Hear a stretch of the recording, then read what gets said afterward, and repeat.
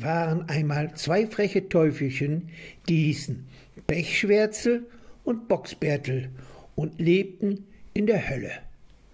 Sie hatten nichts anderes im Sinn, als Streiche zu spielen und Unsinn zu treiben. Vom Himmel wollten sie nichts wissen, aber auf der Erde, da gefiel es ihnen gut. Da durften sie sich herumtummeln und ihren Spuk treiben, nach Herzenslust. Nur wenn Weihnachtszeit war, mitten im Winter, sollten sie zu Hause bleiben, und wenn sie fragten, warum, so brummte die Großmutter, ihr seid noch zu klein, noch nicht hart genug, wenn ihr jetzt zu den Menschen lauft, kommt ihr mir womöglich nicht mehr wieder. Einmal waren sie aus Vorsicht eingesperrt worden, weil gerade niemand Zeit hatte, auf sie zu achten. Da schimpften sie wie die Rohrspatzen. Pechschwedel schlug sich vor die Brust und schrie, ich bin hart. Und Boxbärtel schimpfte, ich bin so hart, dass man Nüsse mit mir knacken kann. Und ich kratze mich durch. Und sofort fing er an, ein Loch in die Wand zu kratzen und Pechschwitzel half ihnen dabei. Auf einmal stießen sie auf ein Mauseloch.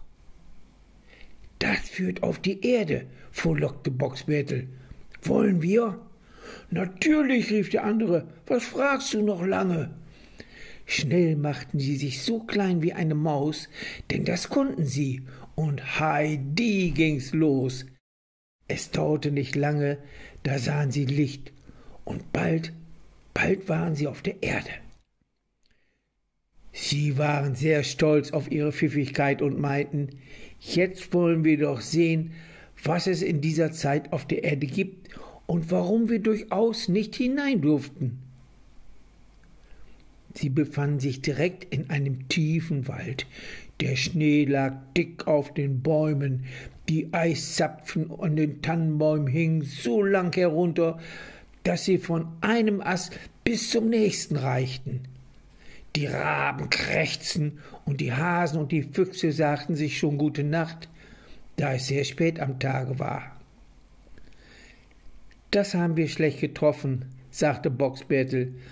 Hier scheint das Ende der Welt zu sein, und wir können lange laufen, bis wir Menschen finden.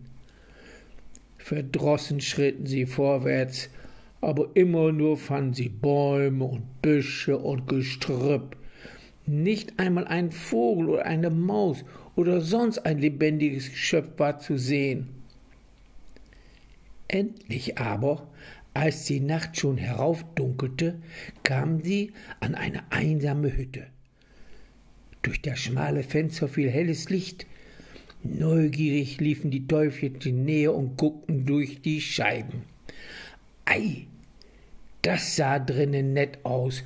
Vor dem Herdfeuer saß eine alte Frau mit zwei hübschen Kindlein, einen Knaben und einem kleinen Mädchen. In der Mitte der sauberen Stube aber stand ein Tisch, auf dem ein kleiner grüner Tannenbaum aufgebaut war. Die Teufelchen bekamen große Lust, sich an dem Feuer zu wärmen und mit den Kindern zu spielen. Sie hatten dabei gleich nur Schabernack im Sinn. Wir wollen es versuchen, sie recht unartig zu machen, schlug Pechschwärzel vor. Ich kann artige Kinder nicht leiden. Ungezogene sind viel lustiger. Komm, wir wollen unsere Kunst versuchen. Mit diesen Worten klopften sie ans Fenster. Wer pocht da draußen? fragte der Knabe drin und kam an die Tür gesprungen. Die Teufelchen traten sehr bescheiden. Ach, lass uns nur ein Weilchen ein, baten sie mit kläglicher Stimme. Es ist so kalt draußen, wir frieren und wir sind hungrig. Euch hat das Christkind geschickt, jubelte Frieder und Lisa, so hießen die Kinder. Wir haben gerade mit der Großmutter zu ihnen gebetet. Kommt und wärmt euch. Heute darf niemand hungern und frieren. Die alte Frau in der Stube konnte zwar noch kochen und spinnen und beten, aber nicht mehr gut sehen und hören. Daher erkannte sie die Gäste nicht genau, und sie lud sie freundlich mit netter Stimme ein. Kommt alle herein, ihr lieben Kinder. Ich habe schnell die Lichtern angezündet. Nun wollen wir alle miteinander Weihnachten feiern. Mit glücklichen Gesichtern führten Frieda und Lisa die kleinen Gäste herein. Fröhlich schauten sie sich auf den strahlenden Baum. Den Teufelchen aber wurde es ganz sonderbar zumute. Was riecht hier so wunderlich? fragten sie ängstlich. Das ist der Christbaum mit seinen Nadeln, antworteten die Kinder. Was schimmert hier so wunderlich? Das sind die Weihnachtskerzen mit ihrem Glanz. Was tönt hier so wunderlich? Das sind die Kirchenglocken, die die heilige Nacht einläuten.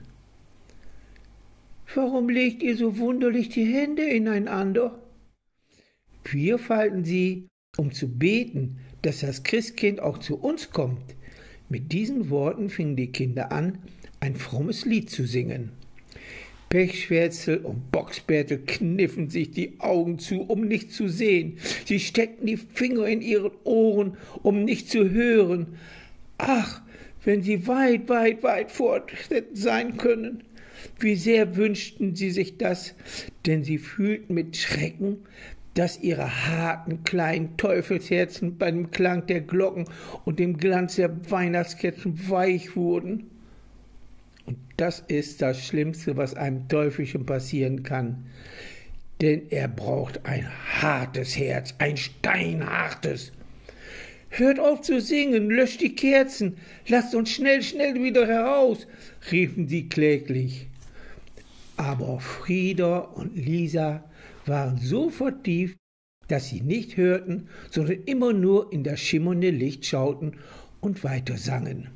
Da sahen die Teufelchen, dass sie sich selbst gefangen hatten, und sie konnten nicht anders, sie mussten endlich Augen und Ohren weit aufmachen und dem Singen und Klingen lauschen.